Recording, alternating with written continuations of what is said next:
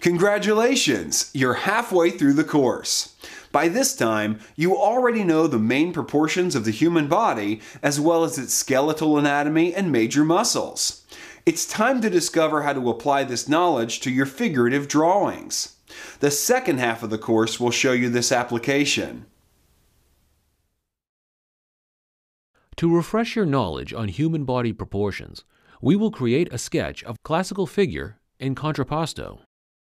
This marble statue was carved by French sculptor Guillaume Coustou in the second half of the 18th century. This figure is done in the best academical traditions and is a good example of classical body proportions. The figure stands in the contrapposto position. The word contrapposto in Italian means counterpoise.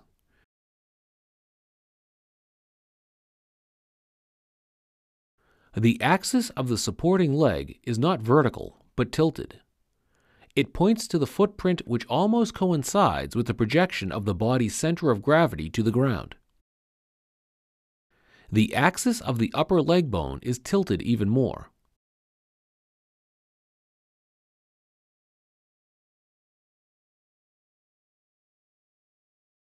Two arms of the W shape we established earlier point to the shoulder's edges.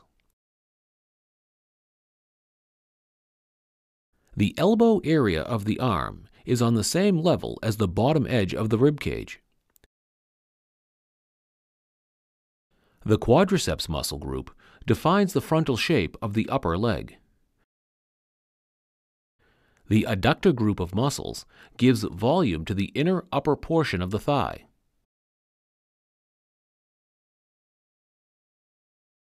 When it comes to the main proportions of a human body, the following ratio will help you draw a standing figure. The distance from the pit of the neck to the pubic bone is equal to the distance from the frontal top edge of the pelvis to the top border of the kneecap. This distance is also the same from the top of the kneecap to the toes.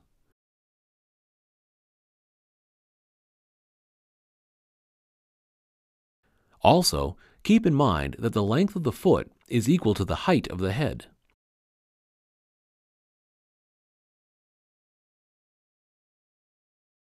Remember, the length of the hand from the wrist line to the tip of the middle finger is equal to the height of the face from the bottom edge of the chin to the hairline. This is an important measuring unit for the human body. The length of the hand is also equal to the length of the breastbone. It is also equal to the length of the collarbone.